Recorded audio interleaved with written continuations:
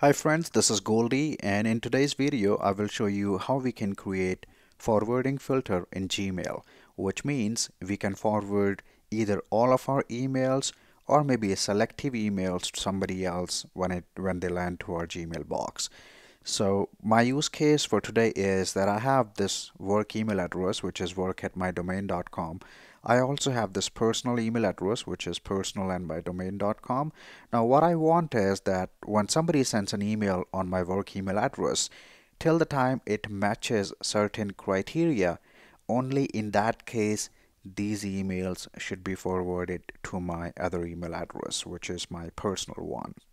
So for that first thing we need to do is enable the forwarding and for that let's go ahead and go to the Gmail of your mailbox uh, settings and go to forwarding.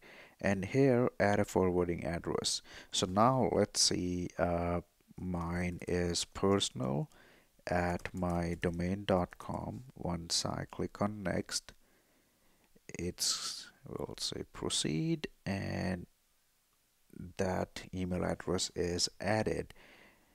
Now because it was on the same domain so it did not ask me to verify that I, that I actually own this email address. But if you're planning to forward to some other uh, domain or maybe gmail.com or yahoo or outlook it will send a code on that email address which you just copy and paste here so that Google uh, verifies that you are the owner of this email address or you have authorization to forward emails to that address. Now, you should not click on forward a copy of all emails unless you really want to forward all your emails to your uh, other ID. In my case, I only want to forward some selective emails and for that I will create a forwarding filter. So now let's see how we can create that. For that, I will go to filters and blocked access and I will click on create filter. Now here you can give your criteria. So my criteria is that only forward emails if they have words uh, like either urgent or maybe sucks. So if if my email which is coming to my mailbox if it has any of these words then only forward email to my personal one else not. And I will click on create filter with this search. Now obviously you can put more criteria whatever you want like from or to or subject size and has attachments or does not have words and so on. Click on create filter with this search and now when you come here it will say forward it to. Just click on that and that then you should be able to use the forwarding email address which you just set up when we started this video. So click on this and in case if you have any existing conversations that match this you should be able to select it. In mine in my case there are none.